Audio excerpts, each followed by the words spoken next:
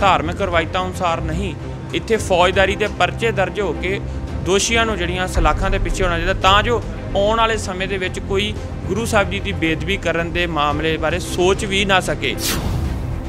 ਪਰ ਸਿੱਖ ਸੰਗਤਾਂ ਨੇ ਜਿਹੜਾ ਮੋਰਚਾ ਉੱਥੇ ਲਾਇਆ ਸਿੱਖ ਜਥੇਬੰਦੀਆਂ ਨੇ, ਉਹ ਓਨੀ ਦੇਰ ਨਹੀਂ ਚੁੱਕਿਆ ਜਾਣਾ ਜਥੇਦਾਰ ਜੀ ਤੁਹਾਨੂੰ ਦੁਬਾਰਾ ਇਸ ਸਟੈਂਡ ਨੂੰ ਬਦਲਣਾ ਪੈਣਾ।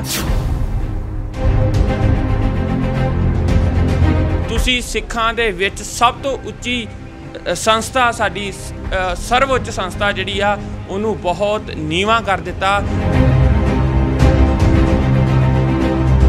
ਜਿਹੜੇ ਐਗਜ਼ੈਕਟਿਵ ਦੀ ਕਮੇਟੀ ਅਸੀਂ ਪਹਿਲੇ ਦਿਨ ਤੋਂ ਕਹਿ ਰਹੇ ਹਾਂ, ਜਿਨੇ ਬਜਟ ਪਾਸ ਕੀਤਾ, ਜਿਹਦੇ ਕਹਿਣ ਤੇ ਇਹ ਸਾਰਾ ਮਾਮਲਾ ਆਇਆ, ਉਹ ਵੀ ਦੋਸ਼ੀ ਆ, ਪਰ ਉਹਨਾਂ ਤੇ ਕੋਈ ਕਾਰਵਾਈ ਨਹੀਂ।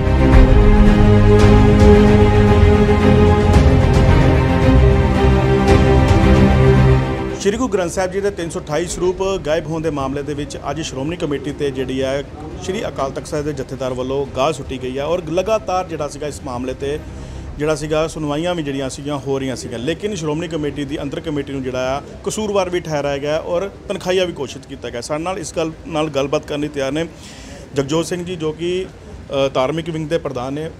ਜਗਜੋਤ ਜੀ, ਕਿਸ ਤਰ੍ਹਾਂ ਦੇਖਦੇ ਹੋ ਸਾਰੇ ਫੈਸਲੇ ਨੂੰ ਜੋ ਸ਼੍ਰੀ ਅਕਾਲ ਤਖਤ ਦੇ ਜਥੇਦਾਰ ਸਾਹਿਬ ਨੇ ਵੱਲੋਂ ਕੀਤਾ ਗਿਆ? ਦੇਖੋ, ਜਿਹੜਾ ਅੱਜ ਸ੍ਰੀ ਅਕਾਲ ਤਖਤ ਸਾਹਿਬ ਜੀ ਨੇ ਫੈਸਲਾ ਸੁਣਾਇਆ, ਇਹ ਕੱਲ ਦਾ ਹੀ ਸਾਨੂੰ ਪਤਾ ਸੀ ਕਿ ਅੱਜ ਉੱਥੇ ਬੁਲਾਇਆ ਜਾਣਾ ਔਰ ਧਾਰਮਿਕ ਰਵਾਇਤਾਂ ਅਨੁਸਾਰ ਜਿਹੜੀਆਂ ਸਜ਼ਾਵਾਂ ਦਿੱਤੀਆਂ ਜਾਣਗੀਆਂ।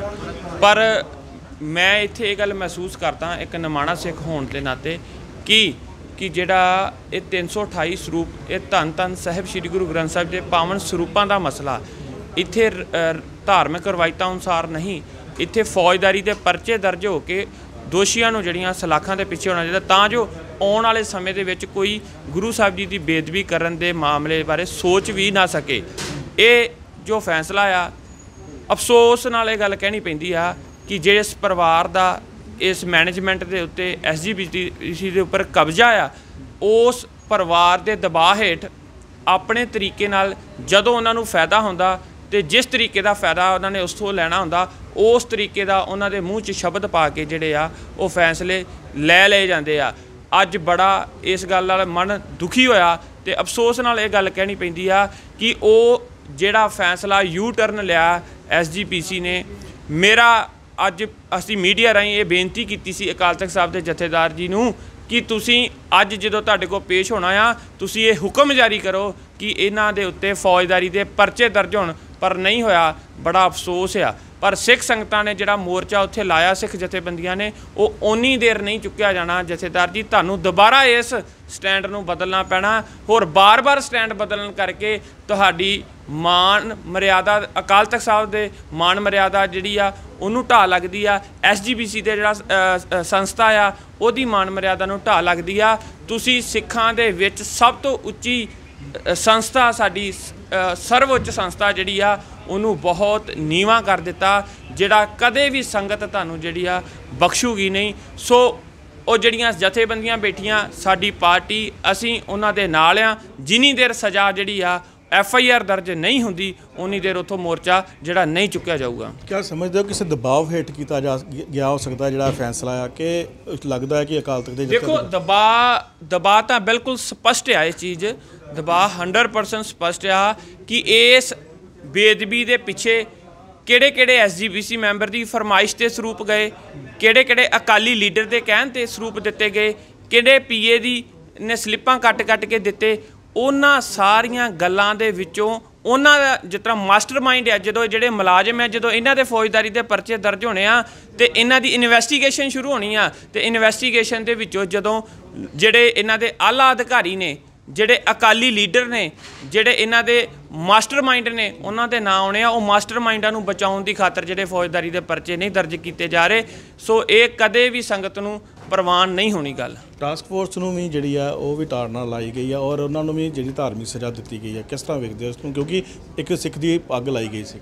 ਦੇਖੋ ਇਹ ਗੱਲ, ਚਲੋ ਮੈਂ ਇਸ ਫੈਸਲੇ ਦਾ ਵੀ ਸਵਾਗਤ ਕਰਦਾ, ਧੰਨਵਾਦ ਕਰਦਾ ਸ਼੍ਰੀ ਅਕਾਲ ਤਖਤ ਸਾਹਿਬ ਦੇ ਜਥੇਦਾਰ ਜੀ ਦਾ ਇਸ ਫੈਸਲੇ ਦਾ ਕਿ ਉਹਨਾਂ ਇਸ ਫੈਸਲੇ ਦੇ ਉੱਤੇ ਵੀ ਨੋਟਿਸ ਲਿਆ ਕਿ ਜਿਹੜੀ ਮਰਿਆਦਾ ਟਾਸਕ ਫੋਰਸ ਨੇ ਬਹਾਲ ਕਰਨੀ ਸੀ, ਕਿਉਂਕਿ ਉਹ ਜਿਹੜੇ ਅਧਿਕਾਰੀ ਨੇ, ਉਹ ਇੱਕ ਪੋਸਟ ਦੇ ਉੱਤੇ ਬੈਠੇ ਨੇ, ਇੱਕ ਉਹ ਜ਼ਿੰਮੇਵਾਰ ਪੋਸਟ ਦੇ ਉੱਤੇ ਬੈਠੇ ਨੇ ਤੇ ਸੰਗਤ ਜਿਹੜੀ ਉਹ ਭਾਵਨਾ ਲੈ ਕੇ ਆ ਰਹੀ ਆ, ਸੰਗਤਾਂ ਦੀਆਂ ਭਾਵਨਾਵਾਂ ਦਾ ਧਿਆਨ ਰੱਖ ਕੇ ਉਹਨੂੰ ਡਿਸਪਲਿਨ ਦੇ ਵਿੱਚ ਜਿਹੜਾ ਉਹ ਲੈ ਕੇ ਆਉਣਾ ਪਰ ਉੱਥੇ ਜਿਹੜੀ ਇਹ ਘਟਨਾ ਵਾਪਰੀ ਬੜੀ ਮੰਦਭਾਗੀ, ਦੁਖਦਾਇਕ ਸੀ।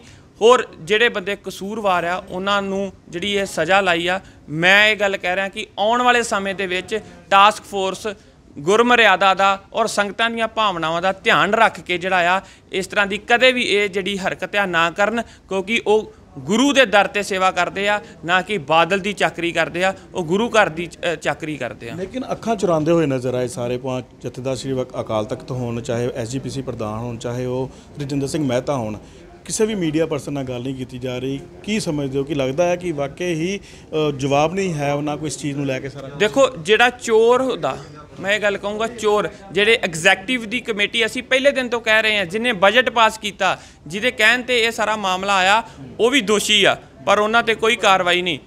ਉਹਨਾਂ ਦੇ ਕਹਿਣ ਤੇ ਸਰੂਪ ਦਿੱਤੇ ਗਏ ਆ।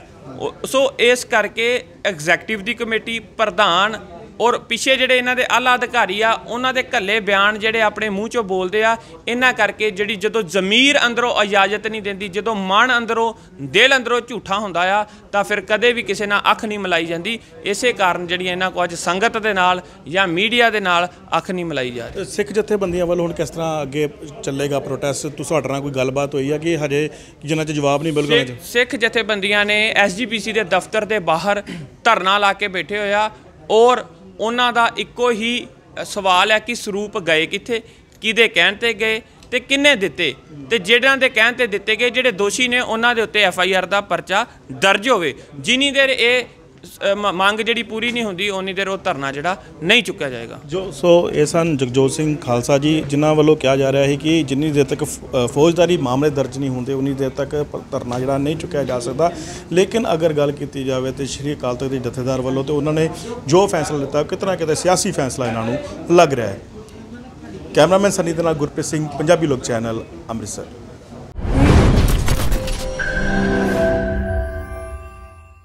ਸਤਿ ਸ਼੍ਰੀ ਅਕਾਲ ਜੀ। ਮੇਰਾ ਨਾਮ ਬਿੰਦਰਜੀਤ ਕੌਰ ਹੈ, ਪਿੰਡ ਰਕਬਾ ਜ਼ਿਲ੍ਹਾ ਲੁਧਿਆਣਾ ਤੋਂ ਬੋਲ ਰਹੀ ਹਾਂ ਮੈਂ। ਮੈਨੂੰ ਜੀ ਮਲਟੀਪਲ ਮਾਇਲੋਮਾ ਦੀ ਸ਼ਿਕਾਇਤ ਸੀਗੀ। ਮੈਨੂੰ 3 ਕੁ ਸਾਲ ਪਹਿਲਾਂ ਪਤਾ ਚੱਲਿਆ ਇਸ ਦੇ ਬਾਰੇ 'ਚ। ਉਸ ਤੋਂ ਪਹਿਲਾਂ ਮੈਂ ਬਹੁਤ ਡਾਕਟਰਾਂ ਕੋਲ ਬਹੁਤ ਫਿਰੀ ਹਾਂ।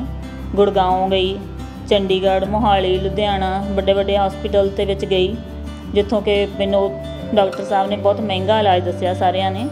ਤੇ ਉਸ ਤੋਂ ਬਾਅਦ ਫਿਰ ਮੈਨੂੰ ਕਿਸੇ ਨੇ ਇੱਥੋਂ ਪਤਾ ਚੱਲਿਆ ਸਾਨੂੰ ਲੁਧਿਆਣੇ ਤੋਂ ਹੀ ਕਿ ਕੁਹਾੜੇ ਰਮਨ ਕੇਅਰ ਸੈਂਟਰ ਹੈ, ਕੈਂਸਰ ਕੇਅਰ ਸੈਂਟਰ। ਫਿਰ ਅਸੀਂ ਉੱਥੇ ਗਏ ਡਾਕਟਰ ਹਰਵਿੰਦਰ ਸਿੰਘ ਜੀ ਕੋਲ ਤੇ ਇੱਥੋਂ ਫਿਰ ਮੈਂ 6-7 ਮਹੀਨੇ ਦਵਾਈ ਖਾਧੀ ਹੈ।